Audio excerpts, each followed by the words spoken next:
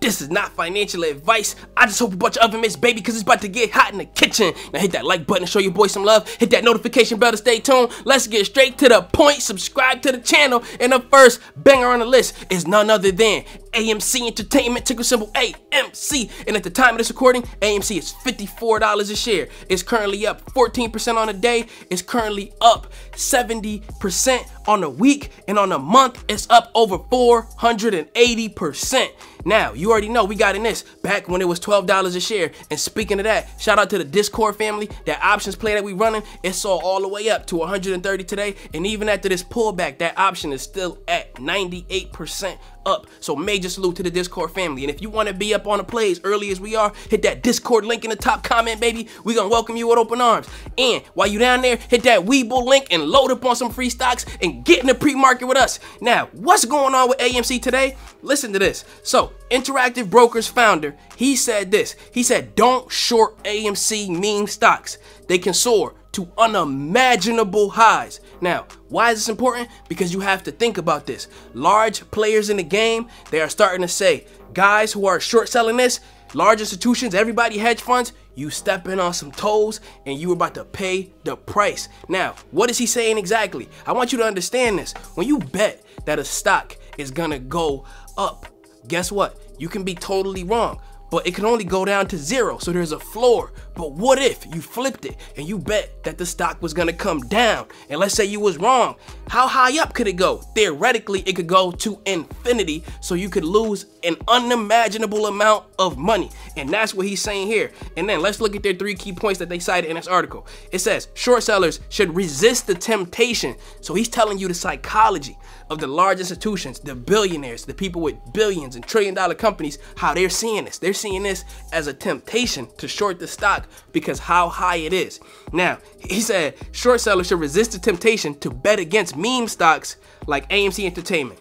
And then they said this the prices can go to unimaginable highs before they settle down at a reasonable valuation. And now he had a little insight for those of us who are invested into it and ready for the short squeeze. For those of you who getting in for the first time, he said, however, investors should not be long on AMC, uh, AMC stock either, aka he don't think that it's gonna go all the way up to imaginable highs and then stay there. So now I want you to consider what the big dogs is doing after hearing something like this because he's opening you up to the psychology of the large institutions and the billionaires that exist.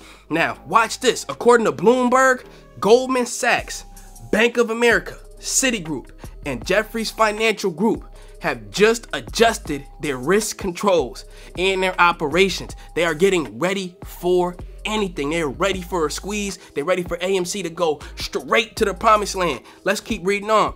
It says they're trying to protect themselves, and this is a quote from Bloomberg. They're trying to protect themselves against the fallout from extreme surges, like shooting all the way up, and then extreme dips coming all the way back down from there, including AMC Entertainment. So, let's keep going on down this article. And then he said they did this specifically.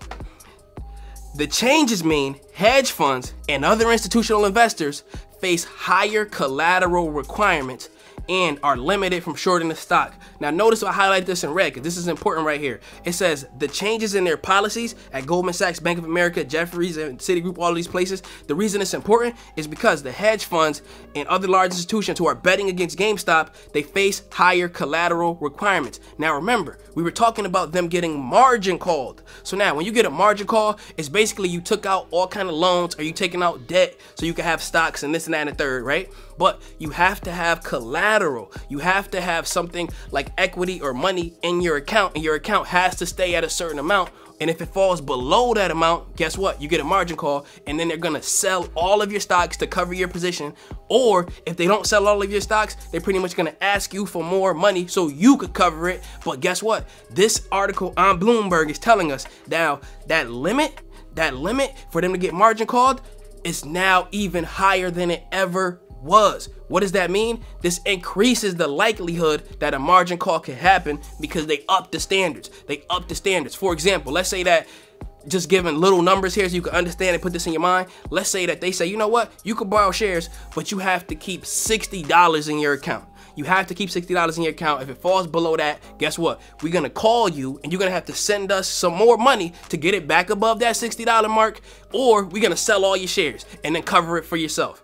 But now they raised it and they say, you know what? Before it was 60, now it's 100. You got to keep it at 100. And if you can't keep it at 100, guess what? We're going to sell all of your shares or we're going to ask you for more money. Now, this is good for us in terms of a short squeeze because this increases the chance of a margin call happening, which would force all of these institutions to buy back all of the shares. Now, if they had to buy back all of these shares, this would make the short squeeze happen. That's what I'm talking about. Let's keep reading on. It says, Jefferies Prime Brokerage will no longer offer naked options in GameStop, AMC, and Microvision. And it says this naked options allow investors to short a stock without owning the underlying security. So, Let's look at the Ortex data like we always do. And we're gonna compare it to what we've seen in the past. So, according to Ortex, two hours ago, they said this. They said that the short interest, remember, it used to be 18%, then it came down to 17%, and now the short interest is now, according to them, 13.8% of the free float. Now, this is only what has been reported officially. This is not the whole story.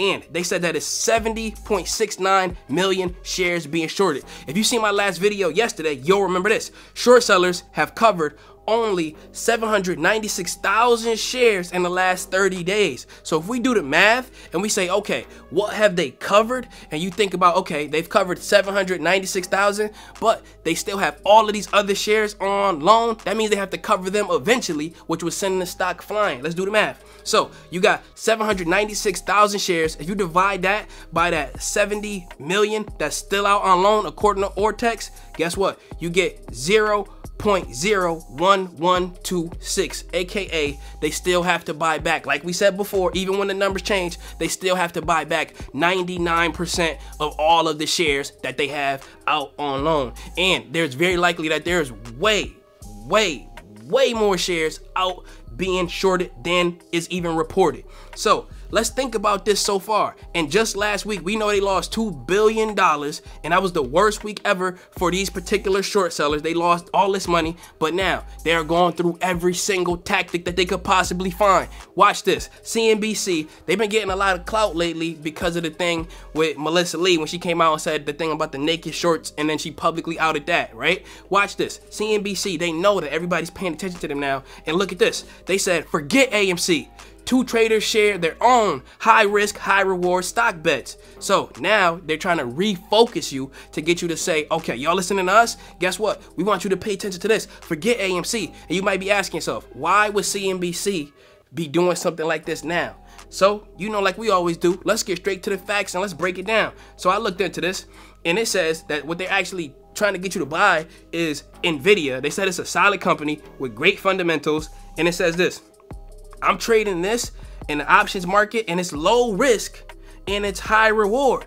And then if you look at what they're talking about in terms of a high reward, it says it implies a 7% upside or even a 14% upside. So what they're trying to do is trick you to get you to think, okay, we all know that at these levels, you're not buying AMC for the fundamentals. You're buying it for the short squeeze. But now they're trying to tell you, look, NVIDIA is a low risk, high reward that you can play options on.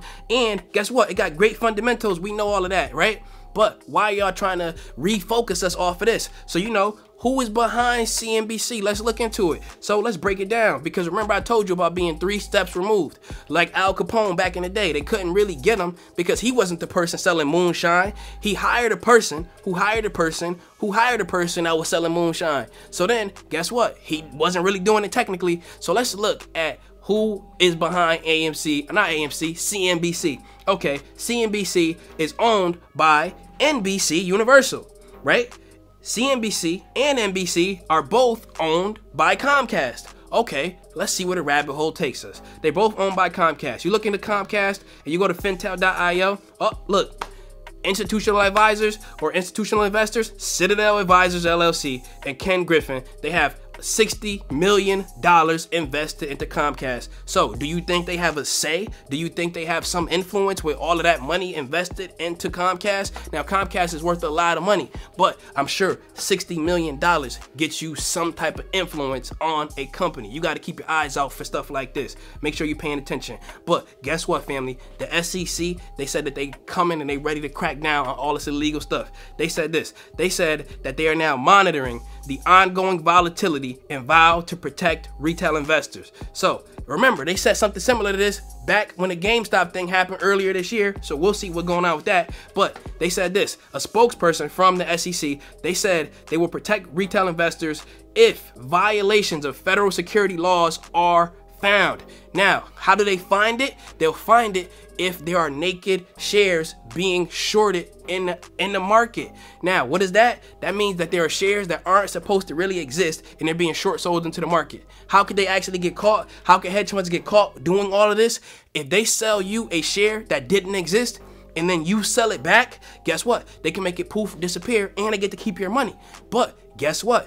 If they sell you a naked share and then you hold it and this share isn't supposed to exist, but you hold it, you legally own it, and you are entitled to what it is worth. And if you don't sell it back, then they can't make it disappear. And this is how the SEC can crack down if enough of us hold on to our shares. Only put into this what you're willing to lose, but I had to just leave you with that, family. And if you can't handle the heat of these hot stocks, then stay out of the kitchen and consider investing in index funds. I love y'all. Remember that. Take care.